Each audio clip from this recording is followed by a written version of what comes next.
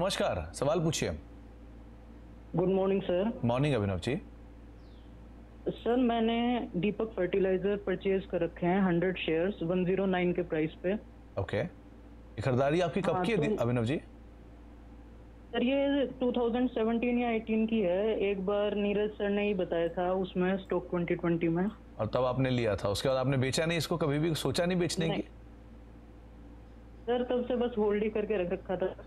तो आ, आपका पेशेंस पे कर गया। आपने करीब करीब पाँच साल इसको दिए और पाँच साल में दस गुना आपका स्टॉक ऑलरेडी हो चुका है। एक हज़ार अड़तीस के लेवल्स पे काम काज कर रहा है। अब आप क्या सोच रहे हैं? अब आप बनना निकलना चाह रहे हैं या बने रहना चाह रहे हैं?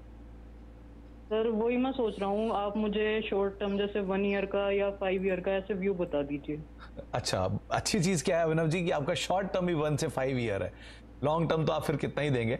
लेकिन बढ़िया आपने निवेश किया। आपको अगर बहुत ज़्यादा कुछ दिक्कत नहीं है तो सिर्फ़ दस शेयर बेच के आप कॉस्ट निकाल सकते हैं अपनी। बाकी गाबा सर से हम राय ले ही लेंगे इसके ऊपर। गाबा सर, एक ड्रीम रन जो दीपक फर्टिलाइज़र में आया, उसको इन्होंने पूरी तरह से अब तक इनकैश किया। सौ रुपए का शेयर आज एक हज़ार रुपए के ऊपर आ चुका है। अब ये क्या करें? देखिए, एक आप होल्ड कीजिए। आपकी कॉस्ट बहुत कम। दूसरा, आपको एक स्टॉक होना चाहिए। ज़रूरी है अब एक हज़ार छत्तीस पर ट्रेड कर रहा है दीपक फर्टिलाइज़र जब ये 800 ब्रीच हो जाए क्लोजिंग बेसिस पर तो आप उस दिन दो फिर आपको पैसा मिलेगा अच्छा। लेकिन जब तक, और मुझे लगता है अगर इसमें आप मुँह कायम है तो 800 को टच नहीं करेगा। तो आप ये राइड और भी ये मुँह को अच्छी तरह राइड कर सकते इसलिए मेरी स्ट्रेटेजी ये रहेगी, अगर ये स्टॉक मेरे पास होता तो मैं 800 का स्टॉक लगा देता अब बोलेंगे, ये बहुत डीप है, उतना तो इसलिए तो मैं राइड कर सकूँगा इस मुँह को।